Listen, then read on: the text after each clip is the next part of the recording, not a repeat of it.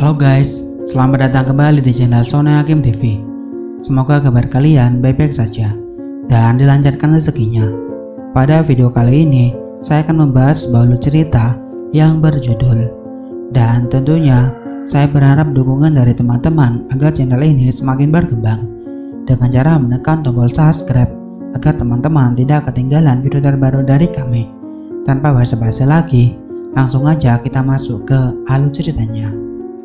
Film diawali dengan sepasang suami istri, kita panggil saja namanya Lisa dan Sony. Mereka berdua pergi ke panti asuhan yang sama seperti sebelumnya.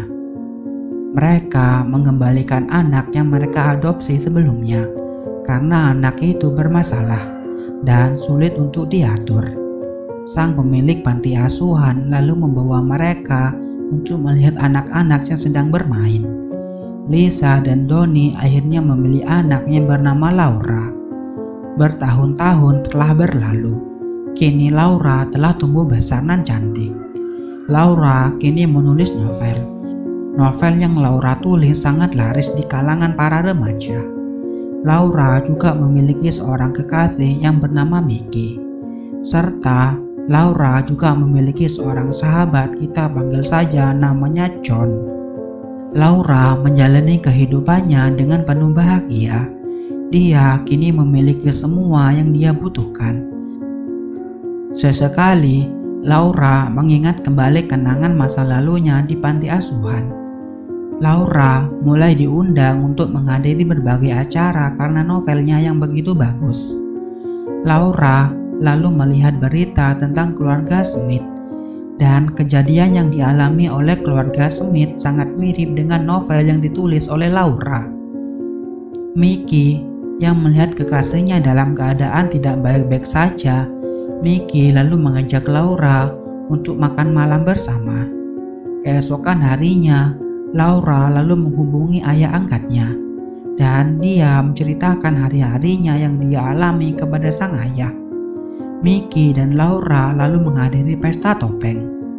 Pagi harinya, seorang polisi datang ke rumah Laura.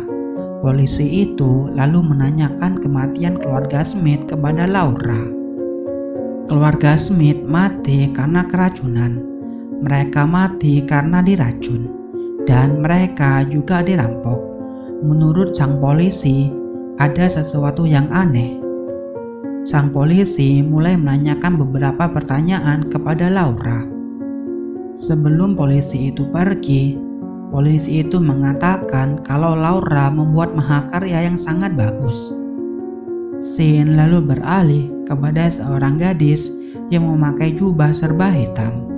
Pada malam harinya, Mickey memberikan senjata api kepada Laura sebagai membela diri jika sewaktu-waktu dirinya dalam bahaya.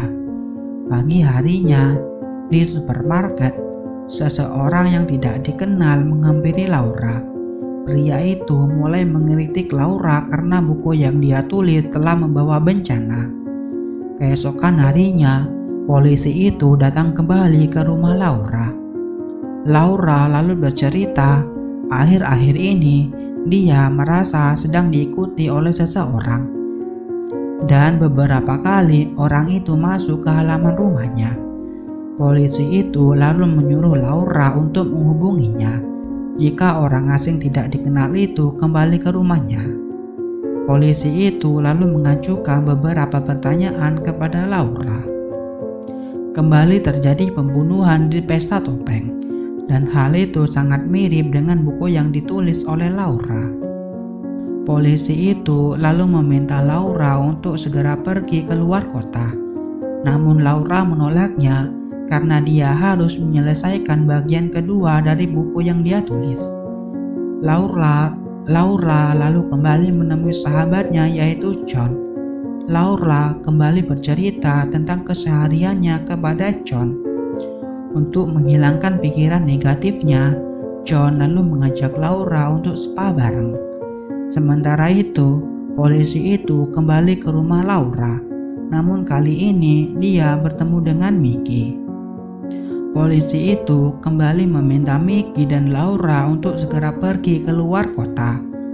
Namun Mickey menolak usulan dari polisi itu. Pada malam harinya, kembali terjadi pembunuhan yang menimpa wanita tua. Lagi-lagi, novel Laura memakan korban. Polisi itu mulai curiga kalau si membunuh punya dendam dengan Laura. Keesokan harinya, Laura bertemu dengan sahabat lamanya sewaktu di panti asuhan. Dia bernama Amanda. Mereka lanjut mengobrol. Amanda lalu bercerita kalau kehidupannya tidak seberuntung Laura. Mereka mengobrol sampai larut malam. Mickey lalu memarahi Laura karena menerima orang asing ke rumah mereka. Namun bagi Laura, Amanda bukanlah orang asing.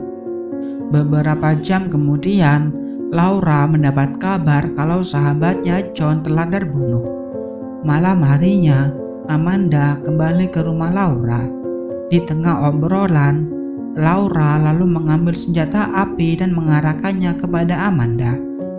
Laura lalu mengakui semua kesalahannya waktu di panti asuhan. Laura dengan sengaja menaruh gelang milik Sony sehingga Sony tidak mengadopsi Amanda. Sebagai gantinya, Sony akhirnya mengadopsi Laura. Amanda sendiri tidak tahu soal itu dan dia baru mengetahuinya sekarang. Namun bagi Amanda, semua itu bukan masalah karena waktu itu mereka berdua masih kecil. Lalu tiba-tiba ada seorang pria yang masuk ke rumah mereka dan ternyata dia adalah Mickey. Dan orang yang ingin balas dendam bukanlah Amanda, melainkan Mickey. Karena Mickey adalah anak yang bermasalah yang dikembalikan oleh Lisa dan Sony ke panti asuhan.